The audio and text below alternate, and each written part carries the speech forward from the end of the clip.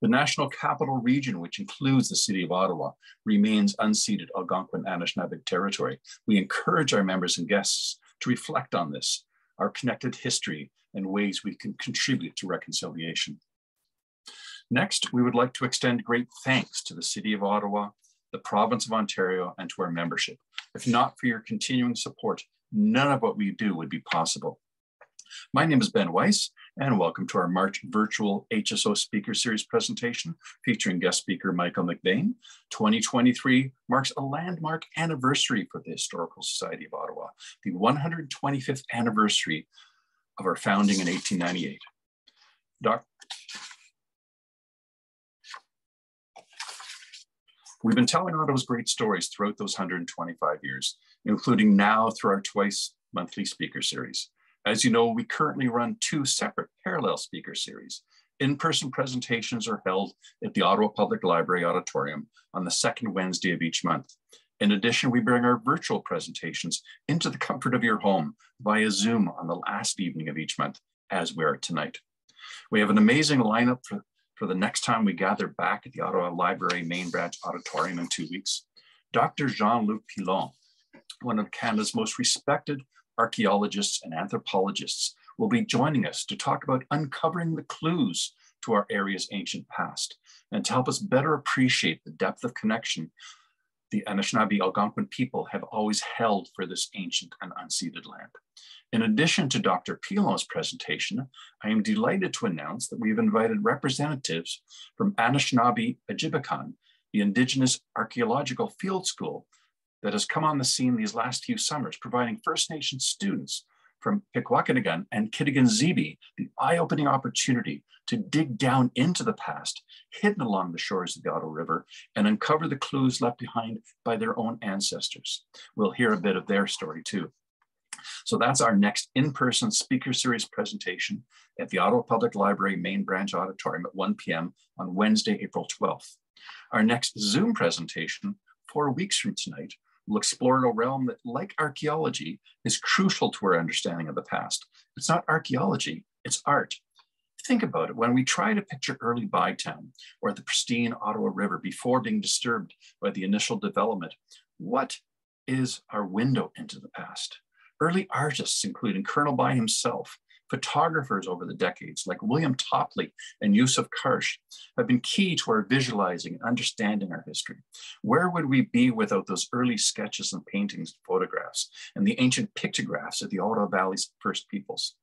And that's only historians' point of view. From the point of view of art for art's sake, Ottawa has been home to immense contributions to the world of art, all the way up to the present and the likes of Annie Pootoogook. And that's the story Jim Burant will share with us four weeks from tonight, art and artists and their indispensable role in Ottawa's history.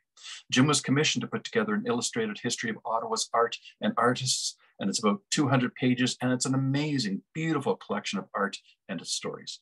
Jim teaches at Carleton University, curated some of Canada's greatest works during his many years at the Library and Archives Canada, and is a member of the Pikwakanagan First Nation. Join us at 7 p.m. on April 26th for a breathtaking illustrated tour of Ottawa's surprising artistic past.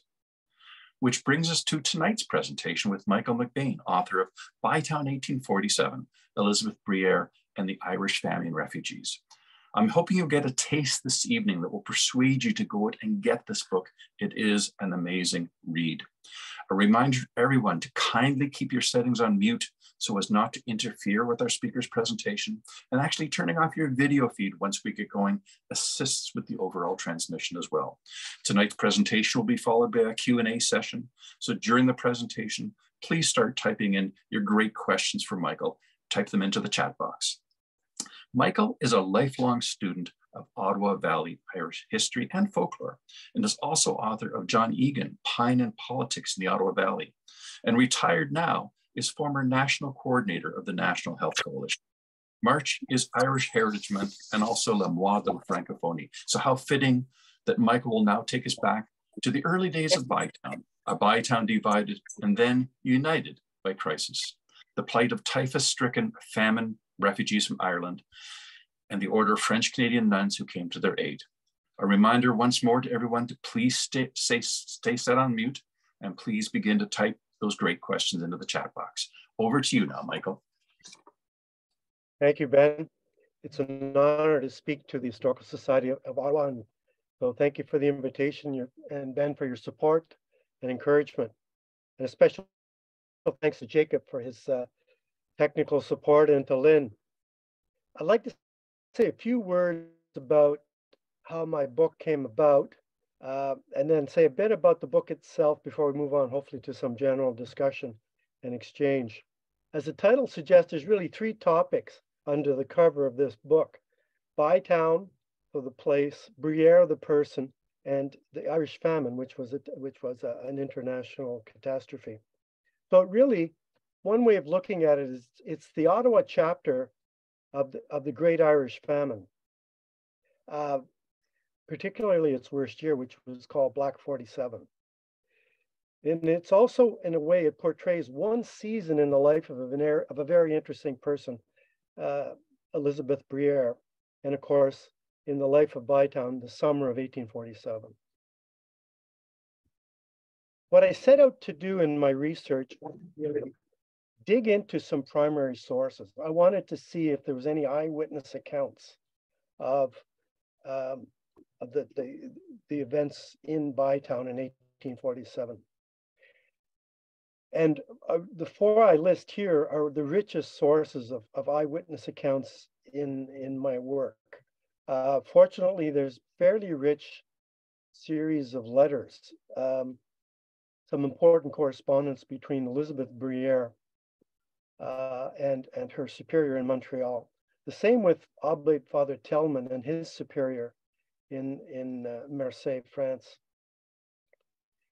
And there was a very important memoir by Father Dandurand, who lived to be 102 and fortunately was interviewed and talked in very moving detail about his memories of what was going on in Bytown in 1847. The, the, the, the main primary source that got me started was the Bytown Packet, edited by Henry Friel. The Bytown Packet uh, had has some really important coverage of the, the Irish famine. Uh, I'll have more to say about the packet.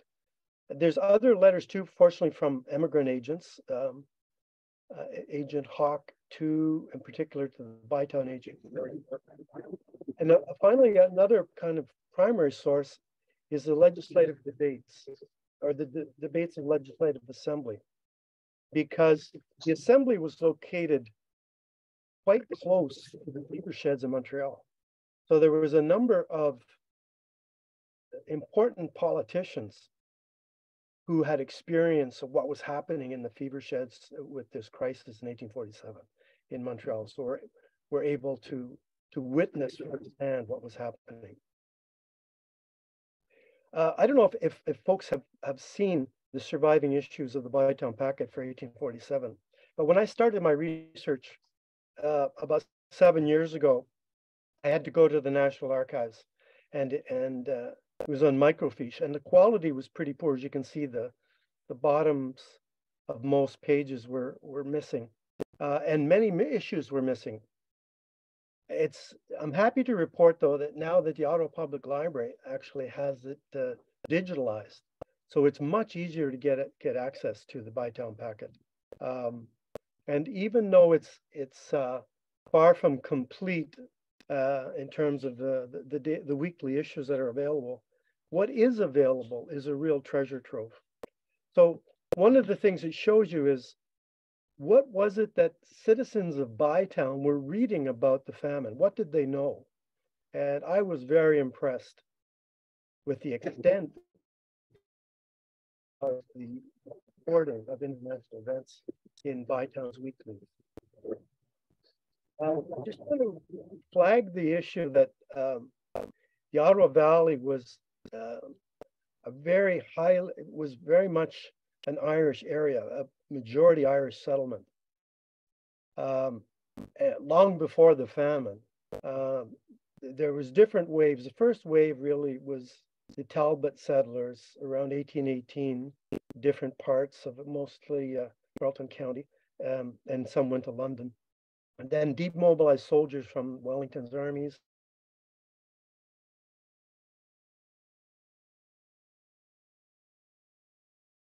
In Bytown were the canal workers, thousands of them came um, around 1826, starting then. Uh, and then the, the, I suppose you could say the final major big wave was, was the famine.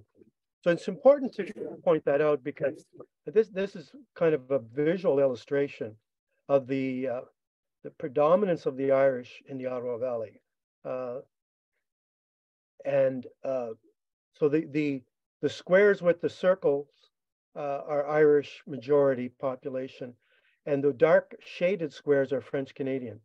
So you can see the two dominant uh, the two dominant groups in the Ottawa Valley all through the 19th century. Um, say a quick word too about timber ships and, and Irish ballast. Um, we all know, I think, about the importance of the lumber business in the development of Bytown, because Bytown developed into basically the supply depot, a really important one, because of its strategic location on the river.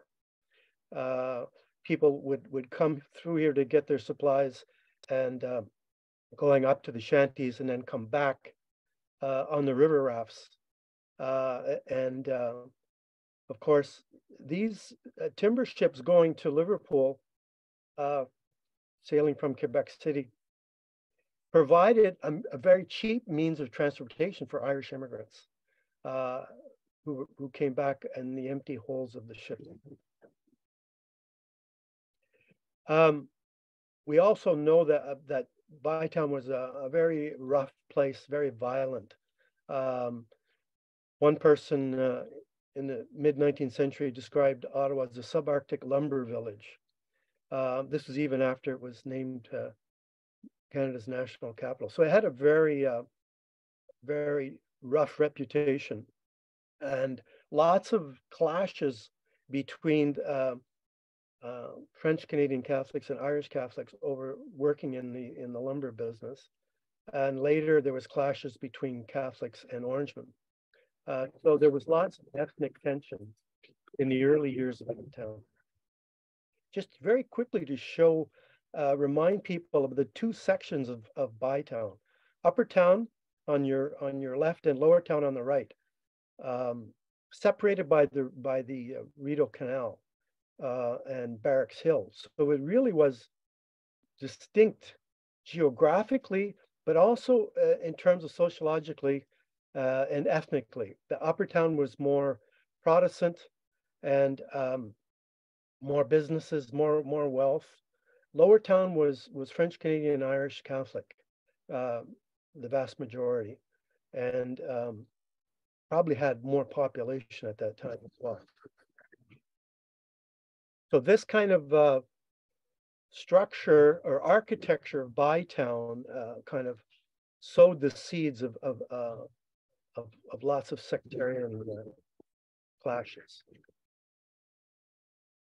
So moving ahead to 1847 and the the uh, the, the, the Irish potato famine, um, there's been three schools of interpretation of the famine been identified by uh, historians the nationalist interpretation, a revisionist interpretation, and a post revisionist. So the nationalist one was tried to portray all the evils that happened on the British government and also claimed that this actually was a form of genocide, this uh, the Irish famine. The revisionist interpretation, which came uh, probably started about the 1930s, uh, 1940s, um, tended to downplay the role of the downplay the famine, downplay the impact of mortality, um, minimize the uh, the significance overall, and and also uh, was was very reluctant to name any political responsibilities for these events. Um, they were very scrupulous in avoiding assigning blame. Uh, in the 18, uh, 1980s and 90s, the post-revisionist interpretation came. Um, one of the leading figures was Cormac O'Grada, an economic historian.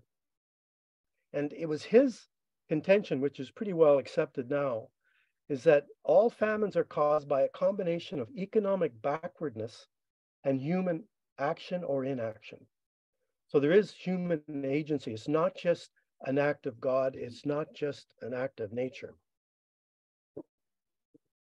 Um, to quote the current uh, ambassador to Canada from Ireland, Eamonn McKee, it's a governance issue, not a fungus issue. So there is political responsibility for the extent mortality, extent duration. Slide, there we go. Just a, a quick word about the uh, the extent of the famine. This is a, a slide that shows the, the dark area on your left shows the hardest hit areas of uh, Ireland uh, during the famine years, um, roughly 1846 to 1852. And these happened to be the areas where Irish Catholics lived, where the poorest people lived, where the most illiterate people lived, where the poorest land was located. So the experience of the famine um, was very unequal. Unequal. It was uh, depending on where you lived in Ireland, you were going to be affected uh, in different degrees. So just some very quick statistics uh, about the, the famine years 45 to 51. Over a million died, a million nine emigrated to North America in these few years. In one year alone, 1847, 100,000 came to British North America. Uh, over 20,000 died just that season uh, coming to British North America or in British North America. So that was the biggest immigration disaster in the history of Canada. Um, I wanted to say a few words about uh, the uh, the routes that people took to get to to get here. Um, surprisingly enough, people came to Ottawa or Bytown directly up the Ottawa River, which makes sense um, from Montreal, but others were sent on the St. Lawrence on uh, and uh, came to Kingston, and many of them then came up the Rideau Canal, which was a much easier coming descending on Bytown by their thousands from directions. And they were being pulled or, or towed by uh, a steamer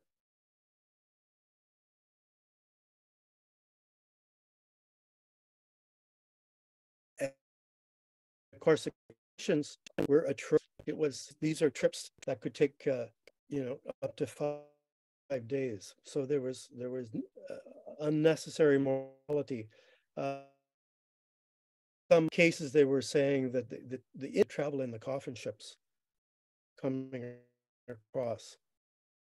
So um, it's important to realize that when they finally made it to Bytown after the horrible crossing and the experience of Grosse Île and making it through the fever sheds in Montreal, um, when they came to Bytown, Bytown was in a very serious economic uh, depression at the time. There was no municipal government, no adequate hospitals, no public health of any kind, um, no public services of any kind, and not even a police department.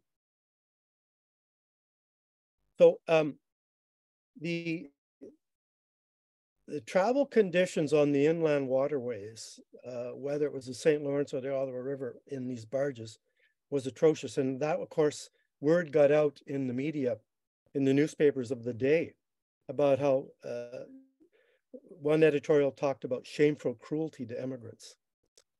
Um, to, quote, to quote John Ralston Saul, this was family compact profiteering at its criminal worst, taking advantage of these desperate refugees. Um, they were getting uh, so much per head by the government, so they were cramming them in in inhuman uh, conditions. Um, this is a, a, slide showing roughly what Bytown looked like uh, in 1847. It was drawn in 1845. Now on the red arrow, you can see this is above, which is now the bridge at, at Rideau Street. Um, so the arrow is close to where the front of the National Arts Center currently is. And that is where I believe the fever sheds were located when um, the, the, the refugees disembarked the barges on the uh, on the canal. There was uh, four fever sheds located there. So in 1847, in that one summer, um, there were said to be 30,100 uh, immigrants came to Bytown, surrounding area. Okay, so th these are just some basic statistics about the Great Irish Famine. Um, over a million died, 1.9 million emigrated to North America. But in 1847 alone, this is called Black 47, the worst year of the famine. 100,000 came to British North America, and over 20,000 died uh, that summer coming to Canada. So by far the worst uh, year of immigration to Canada in the history of our country. It's interesting to see that uh, from Montreal, the, the uh, refugees came to Ottawa by, via two different routes. Some came up the Ottawa River, uh, and some came down the St. Lawrence and then up the Rideau Canal, which was a much longer journey. It would take close to a week. Uh, and they were coming in barges pulled by steamboats, and they were they were jammed in, standing room only. There was no room to sit down, jammed in like sardines, uh, for journeys that would take from three days to a week. Um, now it was it was uh, described at the time as a, in, an, in a Quebec City editorial, shameful cruelty to immigrants uh, John Ralston Saul wrote not too long ago, but this was family compact profiteering at its criminal worst. The operators of these steam uh, steamboat companies were were getting paid so much ahead by the government, and we're just jamming them in um, with no regard to human life and safety. Now, this is a a uh, an illustration drawn in 1845 to show you what downtown uh, Bytown looked like. The red arrow shows the location where the migrants disembarked. Today would be in front close to the National Arts Center. And at the time, there was approximately four fever sheds there. Uh, and the, the refugees would, would disembark at this point, and uh, many of the sick would then be uh, brought to the fever sheds, and uh, Dr. Cortlandt would then um, send the, the sickest ones on to, to the, um, the temporary hospital. Now, I should say that uh, two years earlier, the Sisters of Charity, uh, the Grey Nuns of Montreal, came to Bytown and established a small hospital, Bytown's um, General Hospital, which uh, was located on St. Patrick Street. So uh, just just uh, behind the, the current cathedral, these buildings are no longer there.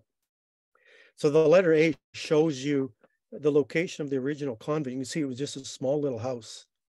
The middle building was a boarding house and run by the sisters. And the uh, the, the building on the, on the far right was uh, the first general hospital. And when the sisters came, they, they besides founding the small hospital. They had women volunteers working in the neighborhoods, had a system of home care. They had a food program, seniors care program, and established the first bilingual school in Upper Canada. Now, because of the uh, the typhus that the uh, refugees were bringing with them, which was highly contagious, um, Sister Briere decided that they needed to set up a temporary hospital on a different location from the general hospital and and far or removed from the school. Uh, so you can see on the left here, circled in red, is the actual uh, artist's depiction of the temporary hospital, uh, um, the migrant hospital set up in 1847 um, to deal with the typhus patients coming in from Ireland. Um, now, this is an artist's depiction of Elizabeth Briere as a younger uh, woman. Uh, she um, she wrote prior to the to the the arrival of the first migrants, they came the first week of June. And at the end of May, she wrote to her superiors saying, I fear them because of the contagious disease. However, I will not refuse to treat them, but I would not want to die of this disease. Pray once again for your cowardly daughter. So it gives a, a little, a little insight into, uh, into what she was facing and, and the dread, but also the planning that was going on before the arrival of the refugees. And then when they did come, um, two sisters were assigned on each shift um, in, in each of the three wards. So the, the hospital had three wards um, and could handle about 60 patients at a time. So there was a French Canadian sister paired with an Irish sister in each of the wards. And in addition, there was two young women also assigned to help. And in the, the night shifts, they had volunteer young shantymen who helped out overnight.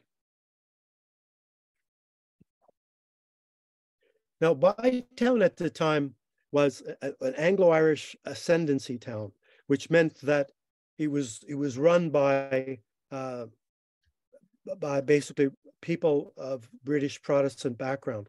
Um, an example of that is that the, the Board of Health, which was just established that summer, had uh, two, only two Catholics out of 18 were on the board, um, in spite of the fact that Catholics were the majority in Bytown, and the, and in spite of the fact that um, most of the the the problems or the the the the, uh, the illness and the refugees were in Lower Town. Most of the Board of Health uh, representatives lived in in in Upper Town and lived in uh, Upper Town.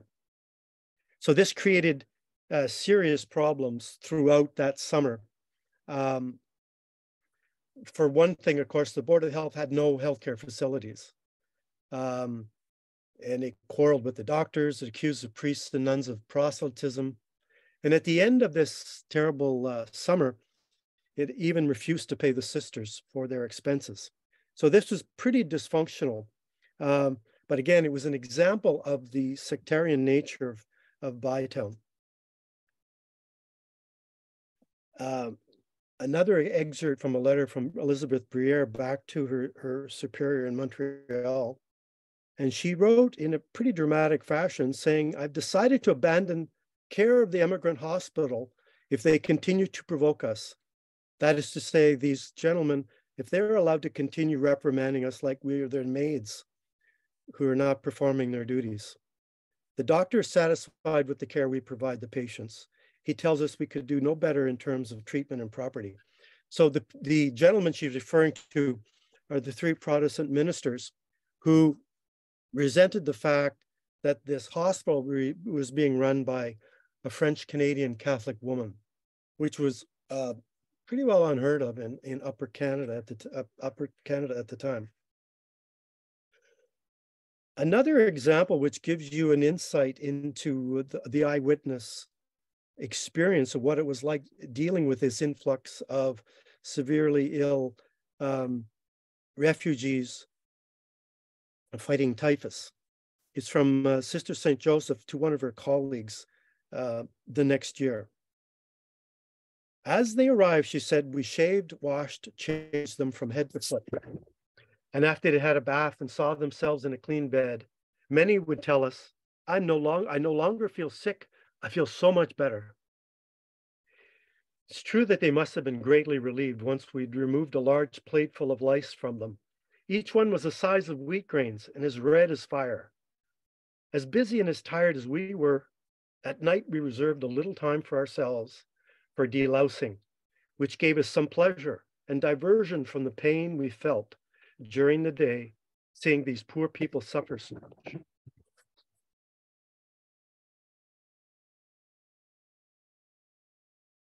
Now it was it was quite challenging when the first typhus patients came because of the fear of contagion. Um, nobody wanted to help out. Nobody wanted to go near and certainly not to touch uh, these patients. So the sisters had to be strong in mind and body, in body to do this work. It included lifting bodies into pine uh, pine box coffins, loading them onto carts, and driving to the graveyard for burial without assistance because the Teamsters feared for themselves and their horses. Sister Elizabeth Briere accompanied her sisters when she could to bury the dead. On July the 13th, she wrote she went with them to bury nine-year-old a nine-year-old girl called Anastasia Brennan.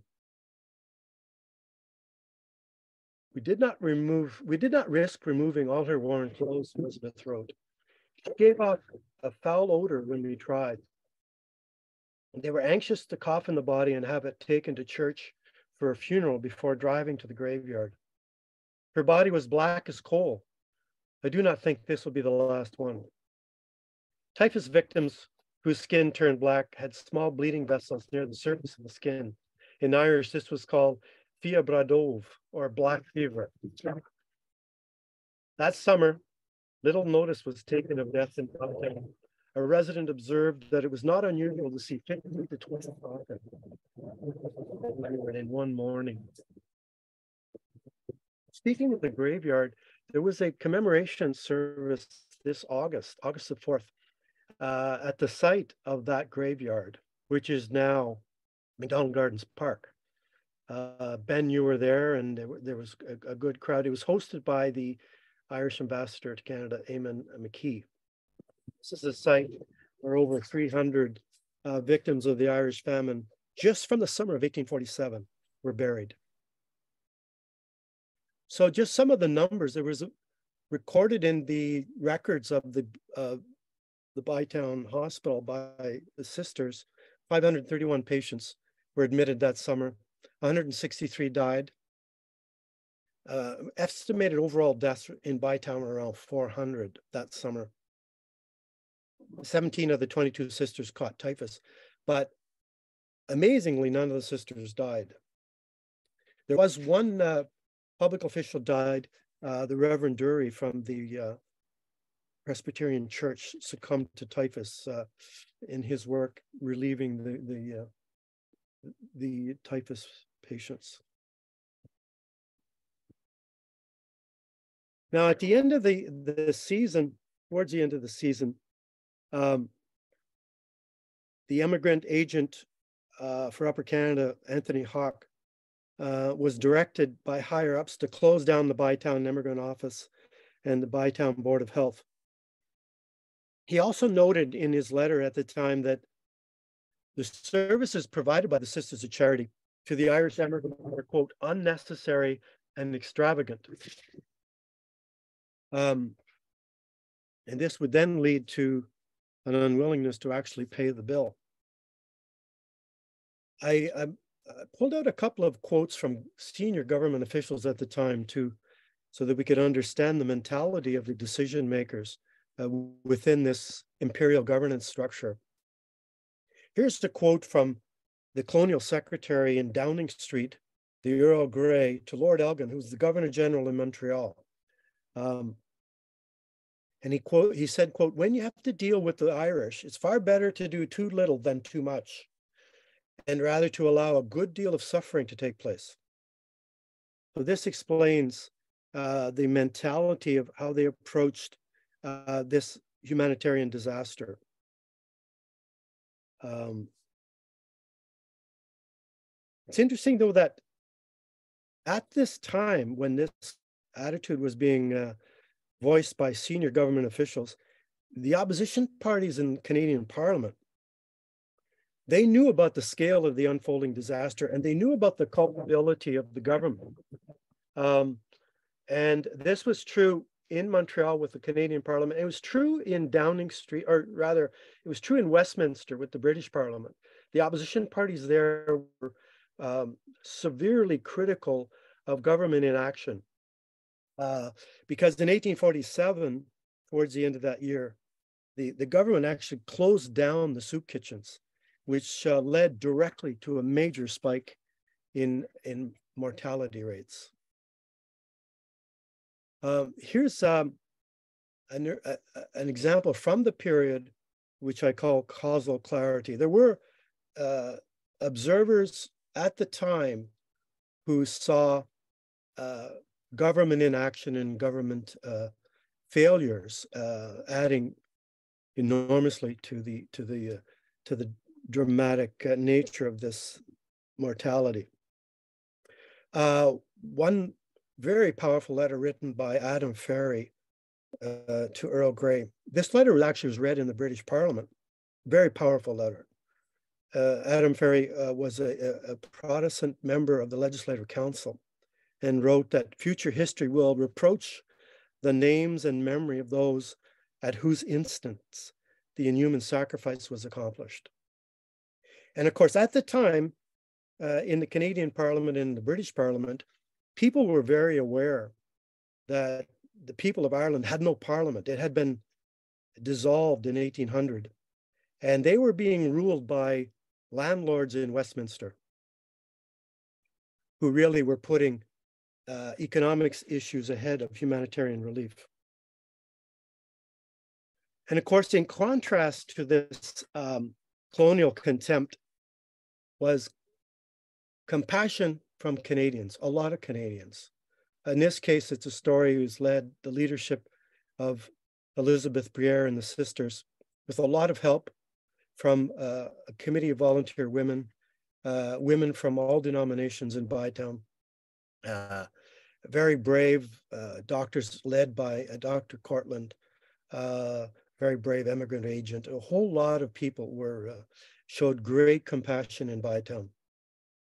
And of course, Bruyere was writing that they were the only ones daring to touch them, not even the cart driver. So she she wasn't repulsed and she wasn't playing politics. She saw the stranger, as did a lot of her uh, her her her, her uh, fellow residents in Bytown, and showed compassion.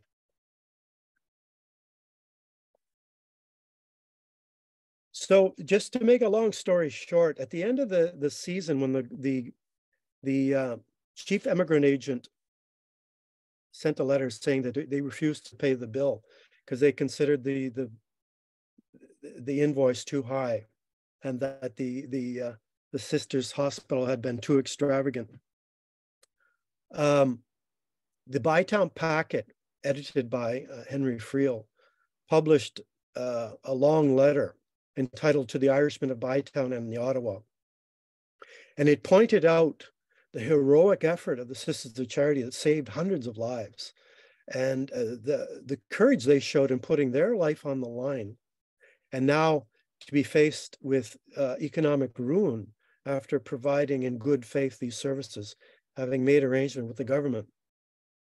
So the editorial concluded by saying, let that insult and those wrongs be felt by every Irishman in the province, and let your indignant remonstrances be heard, and at the polls your insults be avenged. So this is dated December 18th, 1847. Now, uh, shortly, uh, the thing is, when this was editorial was written, the the writs had just been dropped for an election. So three days later, the uh, an order of council comes to pay the the Sisters of Charity their full uh, reimbursement. So obviously, uh, this had an effect. Uh, but I must add that the Tory government was soundly defeated in the election. And significantly, uh, the big issue was a mishandling, terrible, horrendous mishandling of this uh, immigration crisis. So it's important to remember 1847, uh, the disaster, but also to put it into context that 1847 was, was uh, an exceptional year. Never before and never since where did we have that kind of Irish immigration into, into Canada. Um, we should also remember that 20,000 died out of 100,000. So that meant that roughly 80,000 survived, and a lot of them went on to be quite successful. And so it's a story of compassion. It's also a story of resilience. Um, I wanted to end with a quote, which I think speaks to the spirit with which uh, we can learn and be inspired from this historical story of Bytown in 1847. And it's from a Lithuanian French philosopher by the name of Emmanuel Levinas. And he wrote, My welcoming of the other is the ultimate fact. And in it, the things figure not as what one builds, but as what one gives. So it's a spirit of opening to the stranger that uh, brings out the best and has a long tradition in Canada and in Ottawa. Thank you, and I'd be happy to uh, enter into any discussion or questions.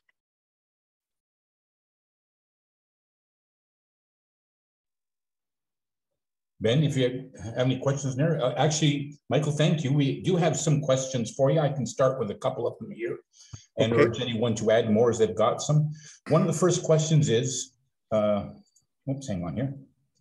Just want to make sure I'm unmuted here. You can hear me, Michael? I can. Okay, that's good. Thank you. Uh, how many Irish came to Canada in 1847 is one of the questions. Are there any numbers specific who came to Canada or maybe 100,000? 100,000 came to Canada. And a lot of those settled in Ottawa? And um, thousands came through Bytown because Bytown was in part a transit. They, some were in transit. Um, but uh, 3,100 actually settled in Bytown and area, and close to 7,000 settled in the greater Ottawa Valley area. Just in that summer. Uh, another one asks, I don't know if you know about this, but are there any records of the burials at Macdonald, at what was Macdonald Gardens? You know about that? Very, good question. Um, the names of a lot of the, well, as I mentioned, um, the sisters took the bodies to the church, Notre Dame, if they were Catholic, and uh, there were funerals, and the funerals were entered into the funeral registry. So we have the names of those who had a funeral at a Catholic service. There is no uh, burial or there's no funeral records from the Protestant congregations. Um, so we know some of the names uh, of those that died, but uh, I would say maybe about a third of, of we know about the names of about a 3rd mm-hmm. I think, I, I don't know, I could be wrong on this. Maybe someone else can add to the chat, but I believe some of the records may have gone to Beechwood because I think the bodies that were at Macdonald Gardens were were moved to Beechwood Cemetery. So I don't know, you might be able to find more uh, information there. Uh, actually, these bodies were were not moved. What were oh. moved were the ones that had tombstones. Oh, okay. And the Irish famine victims um, would not have had tombstone. They would have had a small wooden marker. And uh, when by the time this graveyard was decommissioned, most of those markers would have disappeared. So there's many, many graves that are still in the park.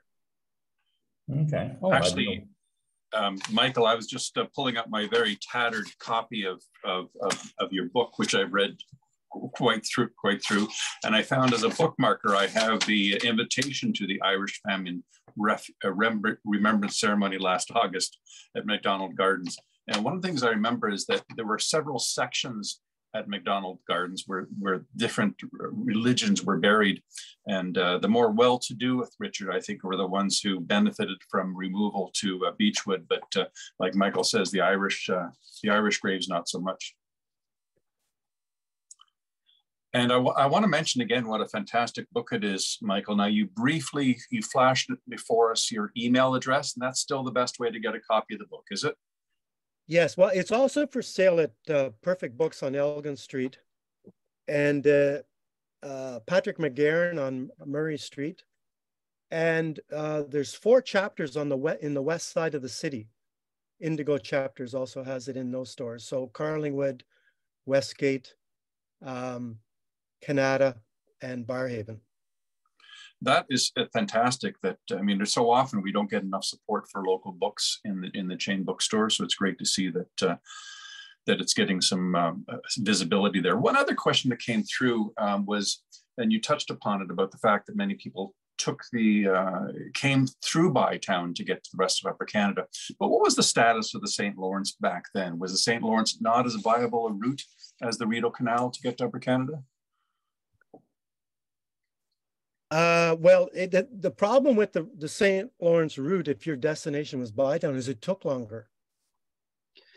And it's therefore it, it was more expensive and more dangerous because if you're if you're standing room only in an open barge uh, in July when it was 90 degrees out, and you're standing for several days, uh, that that led to more people dying. So um, the Ottawa route was shorter, but they were taking both routes because they were profiteering from jamming the barges from for both routes, whether it was the best route or not.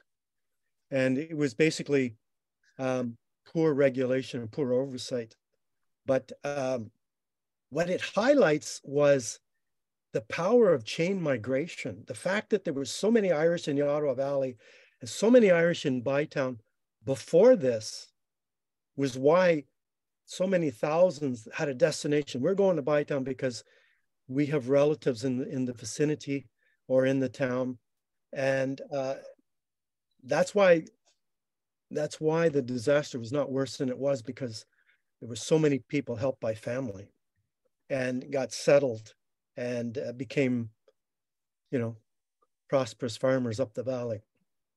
Uh, there's another question that's a bit related, and um, I'm not sure if you have the answer to this or not, but uh, one of our um, attendees uh, had an ancestor who, who, who was part of the uh, Princess um, Victoria's 89th Regiment and uh, was settled in Bytown around 1850 and was wondering if that person perhaps was granted some free land. Was there free land being given out for settlement for the Irish? Um, most of the free land had been gone by that time. It, uh, the free land came a little earlier. Um, but uh, you could get some land at a fairly affordable price, but it was marginal land in terms of the soil quality. So a lot of the potato Irish settlers, they were they were settling in land that are now in the Gatineau Park. So th this this is the you know, in other words, it's hills and rocks. It's it's total Canadian shield. So they didn't survive more than they survived less than a generation on that land. Uh, so the, the good land was pretty well gone by that time. We have one person, um, just look for some clarification. You meant that 100,000, you said 100,000 people came to Canada from Ireland. Uh, you're including the Maritimes in that count, or is that just Upper Canada and Lower Canada? Um, 100,000 would include uh, the Maritimes. Okay. But I should stress that most of them, uh, the majority would uh, came through Quebec, through Montreal. Some went through Bytown, some went through Kingston, all along uh, Lake Ontario. And their ultimate destination was United States. So a lot of them came through Canada, but didn't stay here. You had uh, talked about the Bytown packet being a great, uh, a great resource. Is that a, can that be accessed online, Michael? Yes, if you go to the uh, Ottawa Public Library, you can get the Ottawa Citizen online. And the early years of the Ottawa Citizen, uh, it was called the Bytown Packet. So in the Ottawa Citizen collection, you can access the historical editions of the Bytown Packet. But I, I, warn you, it's not, they're far from complete and some pages are hard to read, but nonetheless, there's it's a real treasure trove. Another question is, how do we know that the Irish are buried in Macdonald Gardens? Well, we know they're buried there because that was the graveyard opened in 1845. Uh, we have maps uh, from 1857 showing the four graveyards, uh, which was then called Sandy Hill. Um, so there was eight acres divided by the four major denominations. So the first graveyard was, the closest one to, to Lower Town was the Catholic plot of two acres, which is borders on, uh, on uh, Cobourg Street. The next one over was the uh, Methodist allotment of two acres. The next two acres was the Presbyterian allotment. And the final allotment on the far end on Wurtemburg side was the Anglican Church of Canada. So this is very well documented as the only graveyard in 1847. Um, so yeah, there's no doubt as to where, uh, what graveyard was being used in Bytown at that time. Do you know if these Irish refugees would have spoken English at the time or were they speaking the native Irish Gaelic? Some of the older people uh, may, may have relied on their uh, younger family members to speak the English, but most most were English speaking. Um, uh, but some were bilingual. Can you comment on the impact of the 1847 controversies over the famine Irish on the riots of 1849? Uh, the riots in Bytown or Montreal?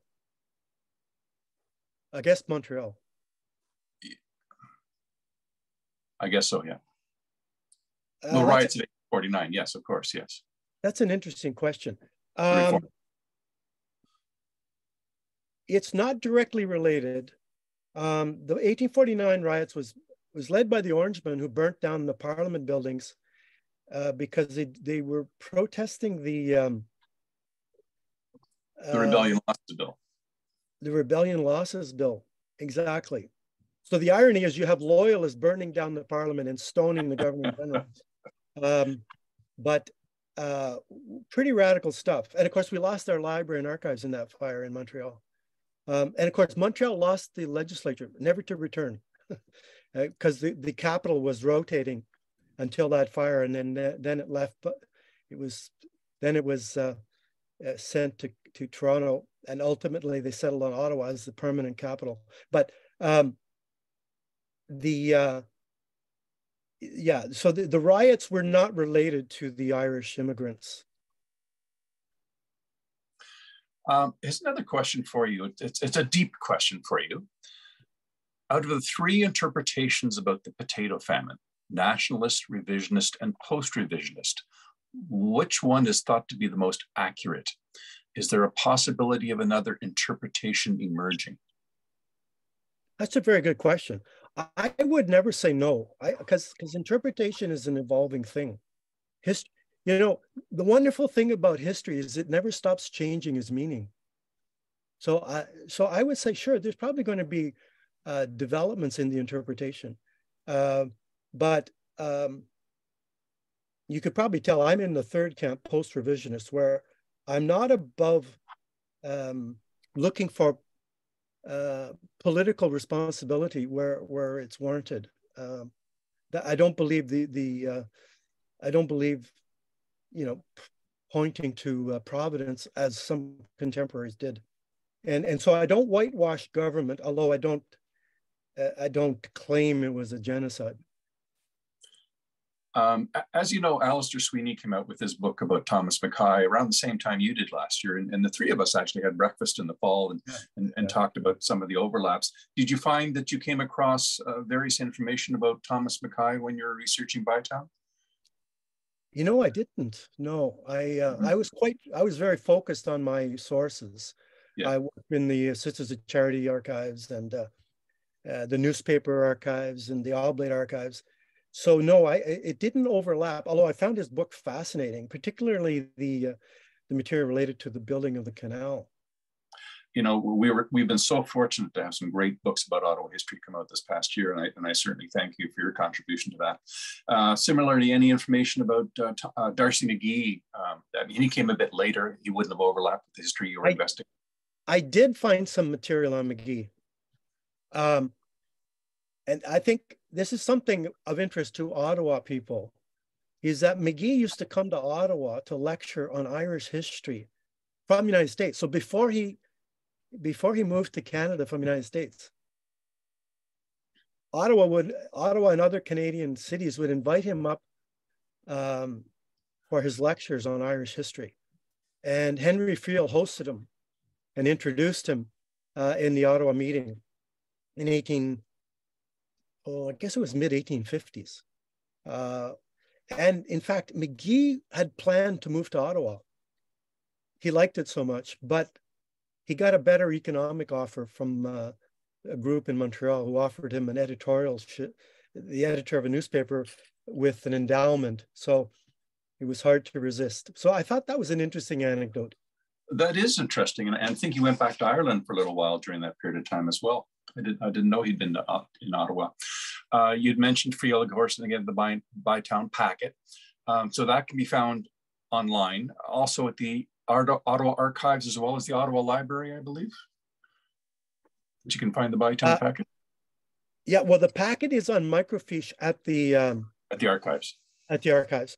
but yeah. you can get it on uh, at your home computer um, from the Ottawa Public Library. Yeah.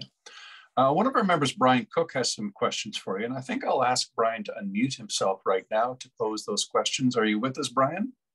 I am. Can you hear me? We yes, can, Brian. Yes. Okay.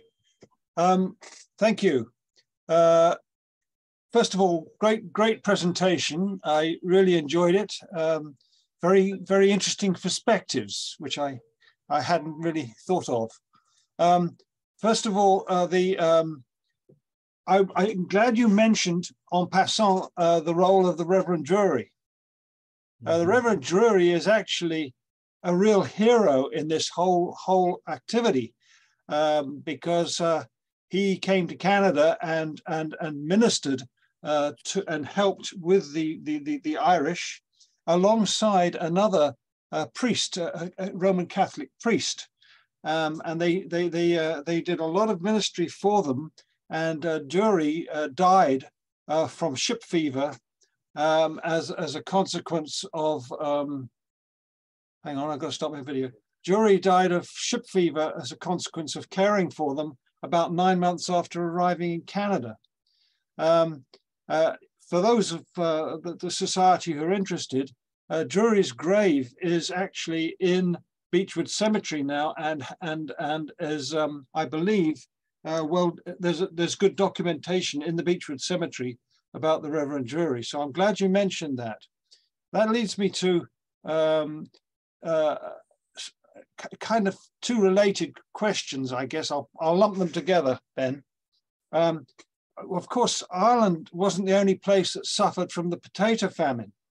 Um, the Highlanders of Scotland, 1846, there was a famine there. Um, so uh, my question is, did the, did the Highlanders of Scotland also come through this route? And were they cared for at uh, by, by, by, by the, uh, the nuns, um, or were they sent another route uh, for care in another way, uh, they being uh, Protestant and the nuns being Roman Catholic? Good, good series of questions. Um,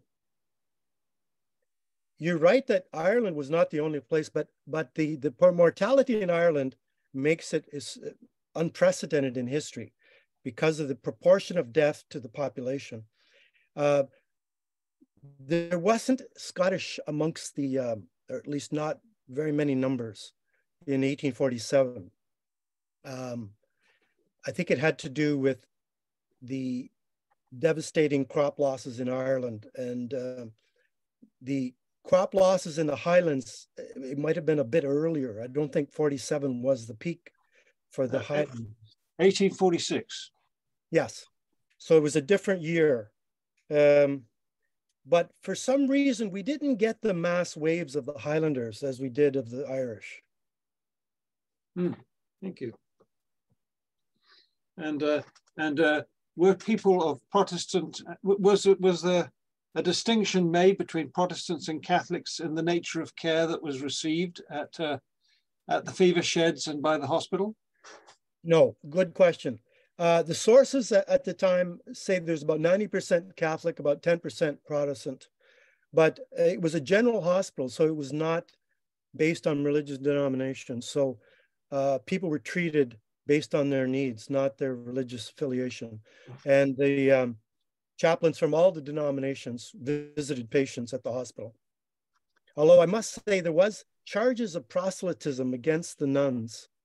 Um, by the by three the three Protestant ministers. Yeah. Uh, and the sources I've been able to uncover, it, it appears that there was a, a Protestant patient who asked to become a Catholic, and that triggered ah. the charges of proselytism, um, which um, you know, which which Bruyere really resented because they, they went out of their way to make it a general hospital for everybody. And they had very strong support from the Protestant community. So it, it, it was a it was a, a charge that stung deeply and um, she felt it was quite unfair. But um, but again, these were very sectarian times on both sides, on all sides. Yeah, yeah, yeah, yeah, yeah. Thank you, Brian. Did you have any other questions? oh, one, one other one. Um, I know that they built this the separate little hospital uh, for, for, for the fever victims, patients, but I also understand that roughly where the mint is now and, and where the landing of the, uh, the first lock going up uh, the Rideau, I understand that below there, there was a set of fever sheds uh, and they, they sort of landed in those places and they were they were triaged there and put into sheds. And those that um, made sense to bring to the hospital, they brought up the escarpment to that particular hospital. Right. Yes, and uh, and the, the key physician uh, for a lot of this period was was Dr. Court, Edward Cortlandt. Yes. And yeah. he was in communication with with with Elizabeth Bruyere. He wouldn't send patients unless they had room in the three wards. That's right. So if you were lucky enough to get in to get a hospital bed, you probably you had a good chance of survival. But that depended on there being a bed for you. Which meant that there was a triage process upon landing. Exactly. Yeah. Thank you.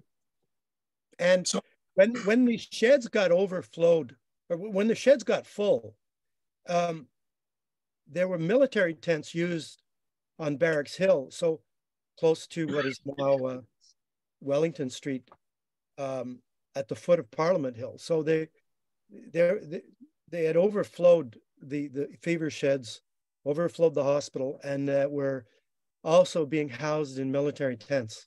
Mm-hmm. Okay, thank you. Thanks, Ben. Michael, uh, so we have somebody asking where you got the illustrations of Bytown. Uh, on the cover or in general? In, in your presentation. Oh, uh, well, the early prints of Bytown um, are well-known ones that are housed at the um, Ontario Archives, which you can download online. Um, yeah, I'm trying to remember the name of the artist. Um, maybe somebody online knows. I'll I'll go back and find it. But well, while you're while you're doing that, I just want to make another pitch for our next Zoom presentation is about the art and artists of uh, of Ottawa, and that's at the end of April. Because again, uh, so much of what we understand and what we can visualize of, of, of, our past is, is thanks to those artists who sketched and painted and took those early photographs. Um, yeah, so I mean, the illustrations are credited in my book. There's a plug. Yeah.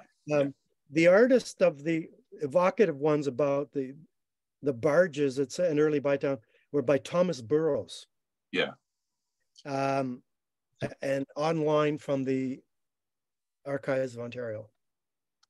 Um, I'm, I'm, having trouble finding the questions because we have so many great comments coming through. I'm trying to weed through them to find the actual questions. But another one was, do you know how what amount was finally paid to the sisters for all of this?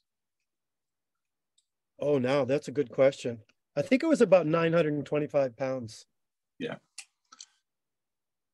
Um, I, I, I guess another question that comes to mind is, you know, we looked at this refugee situation in 1847, and how does that reflect on, on current refugee situations in the world? We know that there's 100 million displaced people in the world right now, and, and we see that countries, whether it's Canada or the States of Britain, are struggling to, to, to find ways and, and to, to decide to what degree to, to deal with these displaced people. What, what reflections do you see on today's situation? Well, I mean, extremely pertinent question because um, the refugee crisis is much worse and the migrants are much larger. Um, but I, I, guess to me, what the takeaway I get from this story of Bytown in 1847 is, is the um, you show your humanity about how you treat the stranger. And if you look at current government policy in England, for example, with the conservative government uh, threatening to fly people to Rwanda, it's um, it's basically criminal behavior. It's totally illegal the approach to migrants in England. Um, uh, remains to be seen whether they would get away with that politically, domestically, let alone in terms of international law. So um, I think Canada continues to play a remarkable role in um, meeting humanitarian standards for migrants and uh, refugees. Um, we have a great history, uh, including in Ottawa, the various waves over the course of the history of Ottawa. And these are now people that are, you know, really strong, um, prosperous members of our community. I remember when I was involved in befriending some Syrian refugees through the Catholic Immigration Center. And the, the job was to befriend folks because they had government sponsorship. They didn't need economics, they needed a, a network of friendship. And some of the women that signed up were Vietnamese, second generation, had come, mm. their parents come as, as boat people. And they felt it's time to pay back the new, the next wave of refugees. I thought that was beautiful. That's really, that's really in the DNA of Ottawa you know, I think it's in the DNA of Canadians. I mean, we we are all refugees ourselves, or descend from refugees of, of some point, and uh, and and it's it's paying it forward, isn't it? Um, it is absolutely helping the folks that are coming along now. Richard, did did we miss any questions tonight? We've had a no, lot. No, we're all caught up. Although I do notice uh, we got one question that seems about uh, connecting the uh, disputes of 1847 with Stony Monday riots, and that's Brian McDougall, who's been one of our past speakers. Brian, if you want to unmute yourself, you can might be able to clarify what you mean about the connection between uh, 1847 and then Stony Monday in 1849. If, if you're still on, Brian. Well, while we're waiting for Brian, I just want to uh, mention again that it's a fantastic book, and that if anybody, uh, I think you should get a copy yourself because Mike was only able to touch on some of the great information on here. Again, we've we've put uh, the email address on on the chat room uh, link, and it is um, Michael at McBane, Michael at McBane.ca, which is really easy to do. And I see Brian, if you can unmute yourself um, Brian McDougall. Uh, would you like to, I, I, think we addressed a bit of the question before, but maybe you'd like to expand on it. Yes. Yes, thank you. Quite a bit about the sectarian issues um, that were evident in 1847. And those issues did not disappear magically when uh, the year ended. They continued and they were evident again in 1849 with the Stony Monday riots. And I was just wondering whether, in his research, uh, whether Michael had come across any discussions about the connections between 1847 and 1849. Uh, thanks for your question, Brian. You're right. In terms of the riots in Bytown, uh, very much uh, sectarian, um, very political, of course, reformers versus Tories. Uh, the Tories being the ones wanting to burn down Parliament.